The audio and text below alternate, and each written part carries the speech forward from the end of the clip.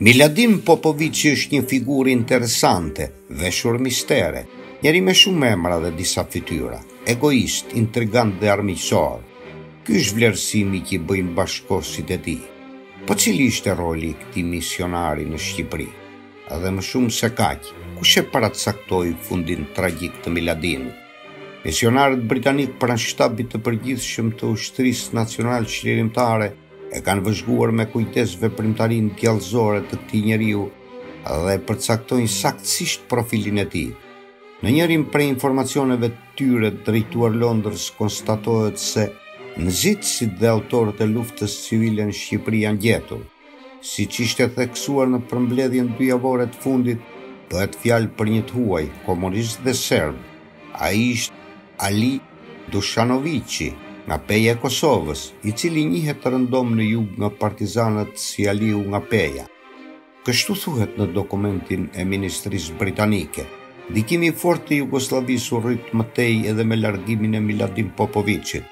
Në Shqipëri erdhi një përfaqësues më i lartë i Titos, Koloneli Velimir Stojniç, i cili mbajti edhe një fjalim në Kongresin e Beratit në fillim të tetorit, atëherë kur komunistët morën kontrollin e qytetit dhe vendosin të shpallin qeverinë provizore të tyre.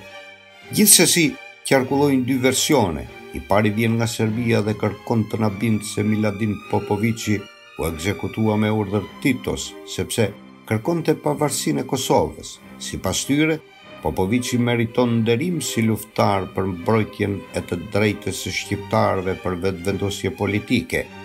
Deri n'atë shkallë se ai vritet nga njerëzit e Titos, se e deshi Kosovën republikë, sipas tyre.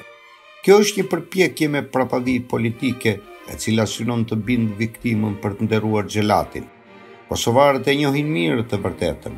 Ata e dinë që Miladin Popoviçi është simbol i së keqes, qysh në krye të veprimtarisë së tij, kur ishte kryetar i Partisë Komuniste Jugosllave për Kosmetin, domethënë Kosovë Metohi, për krimet serbe mbi shqiptarë, veçanërisht për mijëra shqiptarë të vrarë e masakruar në janar-shkurt një mijë e nëntëqind e dyzet e pesë. Po mirë, çfarë roli kishte Miladini në themelimin e Partisë Komuniste Shqiptare? Ishte i dërguar i Kominternit apo thjesht përfaqësues i Partisë Komuniste Jugosllave dhe Titos? Përse Enver Hoxha ka vlerësuar Miladinin si mik të madh të Shqipërisë dhe të Kosovës? Në arkivat ruse gjendet një letër e Hoxhës e vitit 1945 mbi problemin e Kosovës dhe një tjetër letër në arkivin shqiptar më 17 mars 1948. në cilën udhëheqësi shqiptar i kërkon me përunje Josif Broz Titos shqyrtimin e problemit të Kosovës. Përse kaq vonë bëhet objekt diskutimi problemi i popullsisë kosovare dhe jo në vitet e Luftës së Dytë Botërore? Miladini akuzohej nga Anastas Lulu e Sadik Premte si kryetarë serbë në krye të partisë dhe Miladini është diktator. Kjo është arsyeja kryesore e likuidimit politik. e pushkatimit të Lulos, e ndjekja për asgjësim e Premtes, që nga krijimi i partisë dhe gjatë luftës, partia dhe Komiteti Qendror ishin identifikuar vetëm me Miladin Popoviçin, siç pohonte Enver Hoxha në mbledhjen e Beratit. Miladini u vra sapo erdhi në Prishtinë. E dini si e përshkruan Enver Hoxha vrasjen e Miladinit? Dëgjojeni. Jo shumë kohë pas çlirimit të Kosovës, Miladinin e vranë prapa krahëve njerëzit e UDB-së, sepse ishte shprehur për të drejtën e popullsisë shqiptare të Kosovës për vetëvendosje. Pas kësaj, njerëzit e Titos e trumbentuan se vrasjen gjoja e paskesh bërë një shqiptar kosovar. E gjithë kjo farsë kriminale qe organizuar me cinizmin më të madh nga Tito e Rankoviçi, në mes tyre edhe Dushan Mugosha, I vunë pastaj dekoratën e heroit të popujve të Jugosllavisë. Këto janë fjalë të Enver Hoxhës. Mos vallë kjo deklaratë emocionale e Hoxhës vë në dyshim apo hedh poshtë patriotizmin e kosovarëve? Ndryshe, krejt ndryshe është e vërteta. Për merita të shquara Tito e dekoroi hero kombëtar i popujve të Jugosllavisë. Ndryshe ndodhte në Tiranë. Mustafa Gjinishi u vra në rrethana të paqarta. U shpallën tri ditë zi kombëtare në radhët e ushtrisë. Ndërsa në vitin një mijë e nëntëqind e dyzet e gjashtë u shpall armik. Kështu ndodhi edhe me Tuk Jakovën. Më njëzet e tetë nëntor një mijë e nëntëqind e dyzet e tetë u shpall hero kombëtar. Dhe, më 1953, iu hoq titulli i dhënë. Ndërsa Tito i la pas Miladinit nderime të veçanta, në Pejë u ngrit muzeumi memorial i Miladin Mil Popoviçit, heroi i luftës partizane dhe lideri i Partisë Komuniste për Kosmetin. Memoriali është ngritur në shtëpinë ku kishte lindur Popoviçi. Mjaft shkolla rrugë e institucione mbanin emrin e tij. Nacionalisti gjakovar, mësuesi Haki Taha, është vrasësi i vërtetë i Miladin Popoviqit.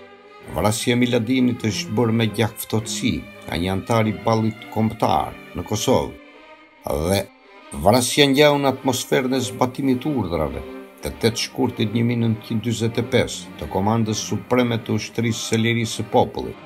Ato ditë, kur është vrarë Popoviçi, UDB-ja ka vrarë, keqtrajtuar e burgosur me qindra shqiptarë në Prishtinë e më gjerë. Miladin Popoviqi u shtri përdhe i vdekur më trembëdhjetë marsin e vitit një mijë e nëntëqind e dyzet e pesë nga një atentat i një organizate shqiptare nacionaliste. Mbi të shtiu Haki Taha, ish-nxënës i Normales së Elbasanit. Popoviqi ishte sekretar i Komitetit Krahinor të Frontit Unik Nacional Çlirimtar dhe anëtar i Këshillit Krahinor të Kosovës dhe Metohisë. Njëri nga pjesëtarët e kësaj organizate nacionaliste kosovare u dënua në Jugosllavi dhe në Shqipëri për të njëjtën pjesëmarrje. Në Jugosllavi u dënua si shovinist shqiptar, ndërsa në Shqipëri si agjent i UDB-së. Jugosllavët e dënuan dhe e çuan në burgun e Nishit. Prej andej mundi të arratisej, erdhi në Shqipëri, hyri në zonën e Hasit më tetëmbëdhjetë shtator një mijë e nëntëqind e dyzet e nëntë. Më njëzet e katër nëntor të atij viti u arrestua i akuzuar për pjesëmarrje në atentatin ndaj Miladin Popoviqit dhe agjent i UDB-së. Prova dhe fakte nuk kishin. Komunistët shqiptarë kishin vrarë në Shqipëri pas shpine dhe pa gjyq më njëzet e shtatë mars një mijë e nëntëqind e dyzet e gjashtë vëllain e Hakiut, atentatorit, Qemal Tahën. Kosovari Qazim Vula u dënua me dhjetë vjet burg dhe u lirua në vitin një mijë e nëntëqind e pesëdhjetë e gjashtë. U arrestua sërisht më tetë tetor një mijë e nëntëqind e gjashtëdhjetë e dy, sepse tentoi të arratisej me një mjet të improvizuar nga vendi i internimit në Shtyllas të Fierit, së bashku me disa kosovarë të tjerë. U lirua në dhjetor një mijë e nëntëqind e shtatëdhjetë e katër. Vitet e mbetura të jetës i kaloi në qytetin e Shkodrës, po çfarë rrëfen ai për vrasjen e Miladin Popoviqit? Në muajin korrik të vitit 1924 më ka ardhur në Prishtinë Haki Taha, që ishte arsimtar në Kosovë. Ai më ka thënë se ishin disa njerëz bashkë me të që bënin pjesë në një organizatë që synonte bashkimin e Kosovës me Shqipërinë, në rast se Kosova do të tradhtohej nga serbo-malazezët. Që të jemi me Shqipërinë, që të kemi gjithë të drejtat, në gjuhë, në administratë.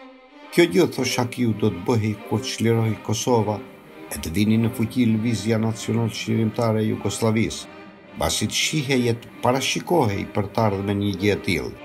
Unë e pranova dhe i thashë se isha gati të ndihmoj. Hakiu më tha se kryetari i kësaj organizate është Sulejman Riza. Avokat në Prizren dhe sot me sa di unë është në burg në Prishtinë, pasi ka qenë arrestuar në Tiranë e prej andej është sjellë në Kosovë. Hakiu më tregoi emrat e anëtarëve të organizatës dhe kryetarin e tyre. Edhe unë pranova të isha anëtar i kësaj organizate. Hakiu iku për Gjakovë, Mas çlirimit të Jugosllavisë në dhjetor një mijë e nëntëqind e dyzet e katër ose janar një mijë e nëntëqind e dyzet e pesë, të gjithë e dinim qëndrimin e Miladin Popoviçit, i cili ishte kundër kosovarëve dhe kishte thënë se nuk e njihte Shqipërinë. Më njëmbëdhjetë mars një mijë e nëntëqind e dyzet e pesë vjen Haki Taha për t'u takuar me mua. Pasi vajtëm në shpinë time tha se ishte ngarkuar nga organizata të vriste Miladinin. pasi është i rrezikshëm për ne kosovarët. Hakiu do t'i jepte një letër të cilën e përgatiti në praninë time. Letra ishte me një shkrim të palexueshëm për shokun që kërkonte të shtrohej në spital pasi ishte i smur. Gjatë leximit nga Miladini, Hakiu do të kryente atentatin.